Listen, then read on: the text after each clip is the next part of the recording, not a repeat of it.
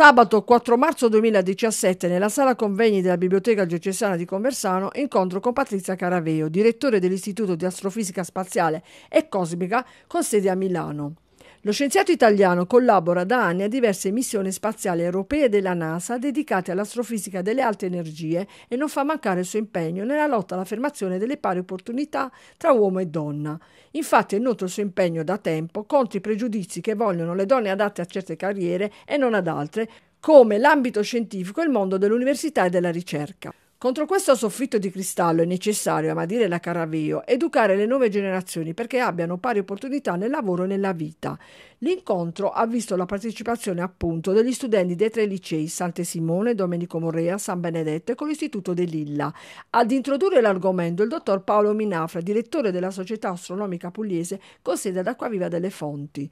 Nel video vi proponiamo nella sua interezza la presentazione della dottoressa Caraveo in cui, con l'ausilio di cartelle e slide esplicative, parla di momenti e situazioni quotidiane palesanti anche nel campo delle professioni e la negazione di diritti in danno della donna. L'appuntamento si inquadra nell'ambito degli eventi della città delle donne che attraverso ricostruzioni storiche, artistiche, politiche e sociali studia il ruolo femminile nella società conversanese e pugliese.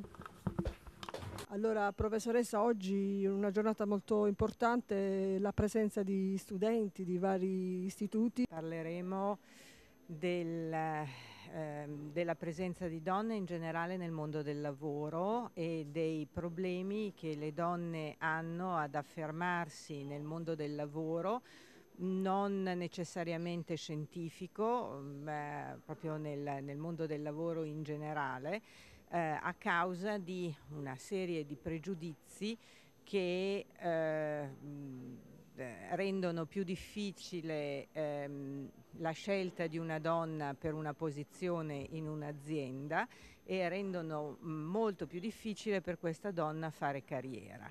Quindi eh, è chiaro che io non ho una ricetta per eh, risolvere questi problemi, però come scienziata so che eh, la prima azione da fare per risolvere i problemi è conoscerli a fondo.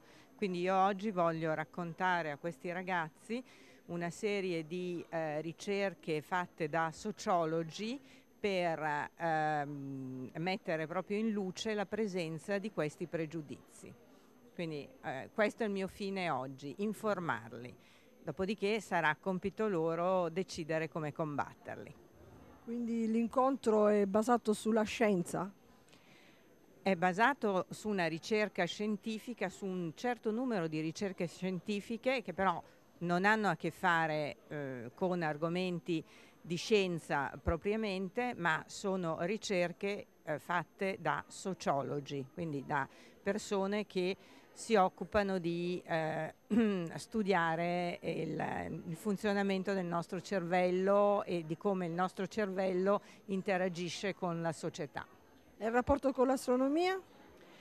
Il rapporto con l'astronomia eh, ovviamente eh, sono, sono, io in un certo qual senso perché io faccio l'astronoma eh, e quindi eh, conosco tutti i problemi delle donne nella, nella ricerca, nell'università, ma ripeto non è questo il fuoco di oggi. Oggi è proprio eh, un argomento generale di informazione.